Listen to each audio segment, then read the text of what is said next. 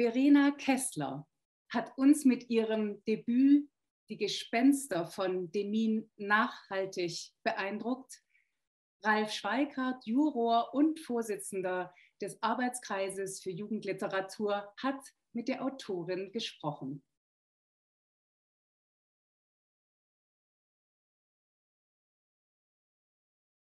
Liebe Verena Kessler, herzlichen Glückwunsch im Namen der gesamten Jury für die, das Kranichsteiner Jugendliteraturstipendium 2021 für Ihren Debütroman Die Gespenster von Demin. Warum uns das Buch so überzeugen konnte? Weil es ganz viel in eine Geschichte packt und doch ganz eng und hautnah an zwei Personen bleibt, die in einer ganz besonderen Lebenssituation stecken. Es geht um Larry, die eigentlich Larissa heißt und möglichst schnell erwachsen aus der Provinz entfliehen und unbedingt Kriegsreporterin werden will. Und es geht um die alte Frau Dolberg von nebenan, die ihr Haus räumt und mit im Haus das ganze Leben. Sie ist eine der letzten Zeitzeuginnen, die den Massensuizid in Demin überlebt hat am Ende des Zweiten Weltkrieges. Im Wechsel zwischen den Perspektiven beginnt eine zweigeteilte Spurensuche, die zu brillanten Engführungen zwischen den Generationen, zwischen jüngster Vergangenheit, Gegenwart und Zukunft wird. Es ist ein Ende, aber es ist auch ein Anfang. Vor allem aber ist es ein überzeugendes literarisches Debüt und deshalb zu Recht Träger dieses Stipendiums. Ich freue mich sehr, dass wir auf diesem Wege und auf diese Weise die Möglichkeit haben, ein bisschen über Ihr Buch zu sprechen und etwas mehr darüber zu erfahren, ähm, was sie dazu bewogen hat, diese Geschichte so zu erzählen. Denn die erste ist natürlich nach dem Handlungsort, nach Demin und der Geschichte, die ich schon kurz erwähnt habe. Das ist ein sehr trauriges ähm, Ereignis gewesen, das noch immer in den Köpfen der Menschen vor Ort spukt, wie ein Gespenst, und das Sie jetzt in einen literarischen Roman mit aufgenommen haben. Was hat Sie an diesem besonderen Ereignis so, ja, kann man das sagen, fasziniert? Was hat Sie da so berührt? Ja, wie Sie gerade schon gesagt haben, dass es immer noch in den Köpfen der Menschen ähm, rumspukt. Also als ich das erste Mal davon ähm, erfahren habe, das war gerade zu der Zeit, wo Russland die Krim annektiert hat. Und ich war eben äh, bei Verwandten zu Besuch in Berlin und ähm, die haben davon erzählt, und zwar in diesem Zusammenhang, weil sie gesagt haben, die Leute, die hier wohnen, denen ist nicht ganz wohl bei dieser ganzen Sache mit Russland. Das ist immer so ein schwieriges Thema. Und da habe ich ja gefragt, wieso gerade hier? Und da ähm, kam das irgendwie so zur Sprache.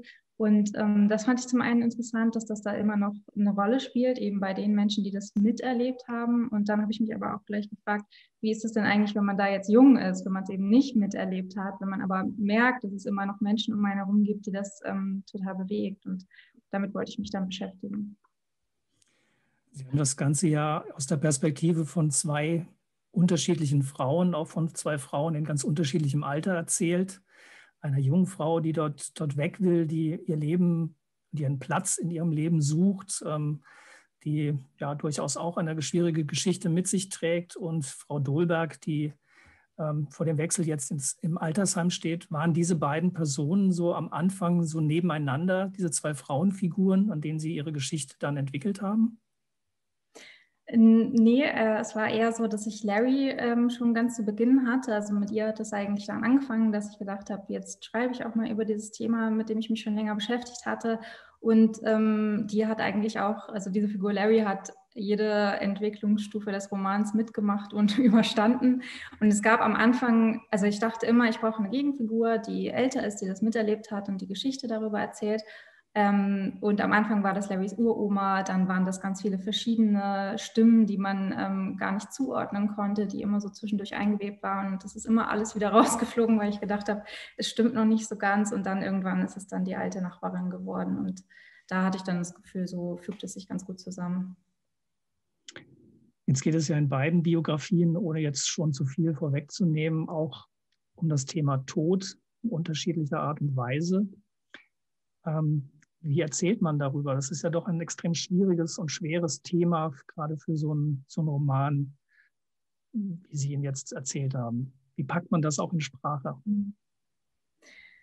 Also die Figuren gehen ja wirklich ganz unterschiedlich damit um. Larry ist eben noch, äh, ist an einem ganz anderen Punkt in ihrem Leben und dann wächst in einer ganz anderen Zeit auf und ist eben jung und sie sucht eher so die Konfrontation mit dem Thema. Also sie ähm, begibt sich ja ständig in Situationen, wo sie irgendwie so an die Grenzen des Todes kommt oder also zum Beispiel ist ja ihr Nebenjob auch, dass sie auf dem Friedhof arbeitet. Also sie sucht den Tod immer so und ist da auch ganz körperlich, ähm, macht ständig irgendwelche Übungen, wo sie was aushalten muss, weil sie denkt, ah, sie muss sich da irgendwie darauf vorbereiten. Und ähm, Frau Dolberg ist da eben äh, ganz anders. Sie hat, äh, die hat selber den Tod schon mal äh, gesehen im Prinzip. Also ähm, sie war eben damals jung, als der als, diese, ähm, als der Krieg endete und es diesen Massenselbstmord ähm, dort gab und sie selber in einer Situation war, wo sie fast gestorben war. Und sie ähm, geht eigentlich eher über die Verdrängung mit dem Tod um. Und ähm, das klappt eben bis äh, kurz vor ihr Lebens Lebensende. Ähm, und ich fand aber, ja, ich wollte über Tod schreiben und über dieses Thema, aber ich wollte auch nicht, dass das zu schwer wird. Und deswegen fand ich das eigentlich ganz schön, mit diesen zwei Figuren zu arbeiten, weil Larry ähm, einfach da äh, frischer ist, weil sie auch mal lustig ist, weil sie irgendwie naiver da drauf schauen kann. Und ähm, die Schwere ist dann ein bisschen bei Frau Dohlberg geblieben. Ja, jetzt nehmen Sie mir eigentlich die nächste Frage schon weg, weil ich wollte das genau in der Richtung nochmal noch mal abklopfen, dass es einerseits ja eine todtraurige Geschichte ist, auf der anderen Seite aber über Larry auch so eine Komik, so eine Groteske in die Geschichte reinkommt. Man darf ja auch nicht vergessen, sie selber ist ja auch auf dem Friedhof und hilft dort der, der Verwalterin dort in dem, auf dem Friedhof. Also diese Konfrontation mit dem Thema ist ja doch immer da. Aber sie ist sprachlich und auch in der Geschichte selber so nicht da. Ist das was, was Ihnen beim Lesen dann auch, äh, beim Schreiben auch wichtig war, dass man diese, diese Schwere nicht permanent hat und Sie das auch dem Leser gar nicht so zumuten wollten? Ja, ich glaube schon. Also ich ähm, habe mich aber auch gefragt, wie würde ich das, also was würde ich jetzt selber gerne zu dem Thema lesen und ähm, habe da so meine eigene äh, Dosis gefunden, so wie ich es wahrscheinlich selber gut finden würde. Und ähm, ich, ich finde jetzt auch nicht, dass man da ständig nur flapsig drüber ähm, sprechen muss, aber ich finde, das geht schon auch und es gibt da halt verschiedene Wege, weil Menschen da einfach unterschiedlich sind und ähm, ja, dadurch habe ich gedacht, mit, mit zwei Figuren, die da sehr unterschiedlich äh, mit umgehen, äh, kann man das vielleicht gut machen. Und ist Larry so ein typischer Fall von, von Aufwachsen heute? Also man würde ja fast sagen, sie kommt so ein bisschen aus prekäreren Verhältnissen. So viel Geld ist da nicht da. Es zieht der neue Freund der, der Mutter ein. Der Vater ist Lkw-Fahrer in ganz Europa unterwegs. Ist das so ein, ein, typisches Muster oder hat sich das in der Figur so ergeben, dass sie so ist? Ähm, ich glaube von beidem ein bisschen was. Also ich glaube, sie hat schon ganz typische ähm, Probleme, die man so beim Aufwachsen hat, ähm, dass sie sich zum Beispiel mit ihrer Mutter nicht so gut versteht oder sich mit ihr reibt. Sie ist im Grunde ist sie auch ein typisches Scheidungskind, das irgendwie ähm, sich mit dem Elternteil, bei dem es lebt, ständig zofft und das Elternteil, äh, das es nicht so oft, äh, das sie nicht so oft sieht, ähm, idealisiert.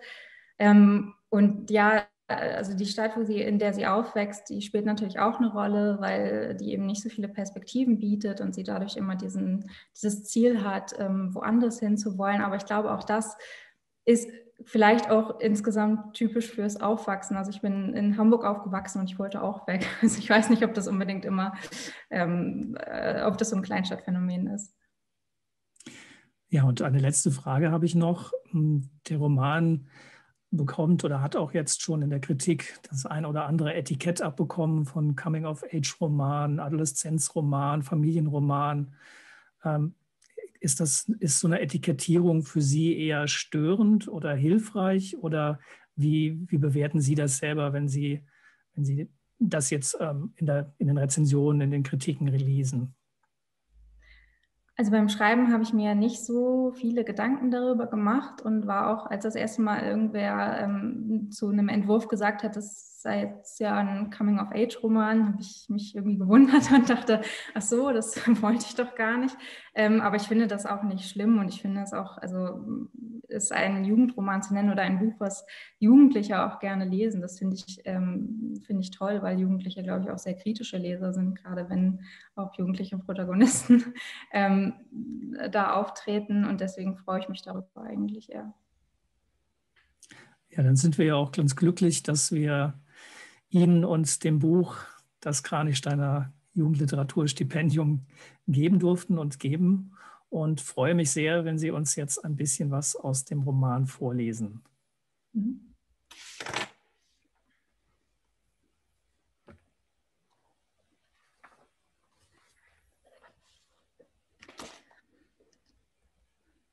Die Sonne steht schon tief und die Bäume werfen lange Schatten auf die Urnengräber.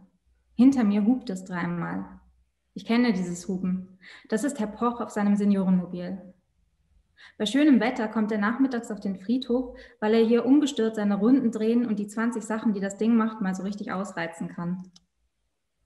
Vorne am Lenker hat er einen Korb und in dem Korb liegt auf eine, auf eine weiche Wolldecke gebettet Igor III., sein sehr fetter und sehr alter Kater, der meistens schläft. Der Kiesweg knirscht unter dem Gewicht des schwer beladenen Seniorenmobils. Herr Poch bremst und hebt seine Mütze kurz für mich an.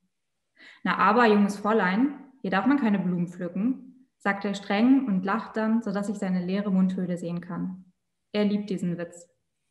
Sind die für mich? Ich spiele mit und halte ihm die welken Blumen hin, die ich gerade eingesammelt habe. Na klar, für Sie nur die schönsten. Er lacht wieder, muss dabei aber so doll husten, dass sein Pergamentgesicht rosa anläuft. Igor blinzelt kurz, dann dreht er seinen Kopf zur anderen Seite und schläft weiter. Nicht sterben, wir haben gerade nichts Passendes frei.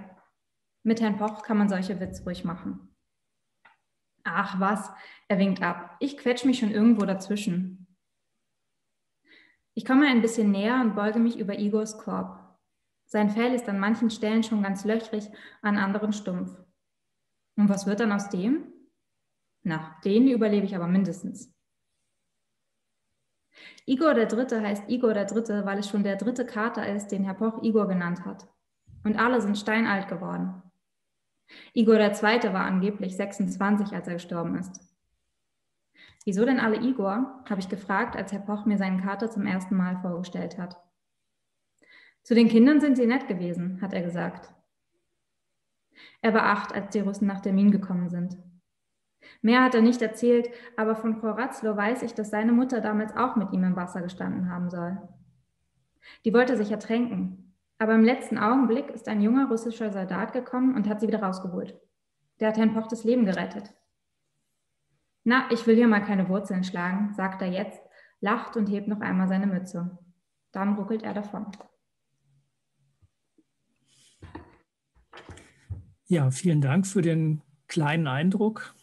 Ich glaube, ein kleiner Eindruck ist ein guter Appetit haben, um Lust auf das ganze Buch zu machen. Und deshalb an dieser Stelle nochmal die Aufforderung, das Buch auch zu lesen, wer es noch nicht kennt. Und Ihnen vielen, vielen Dank für das Gespräch. Und ja, nochmal herzlichen Glückwunsch. Dankeschön.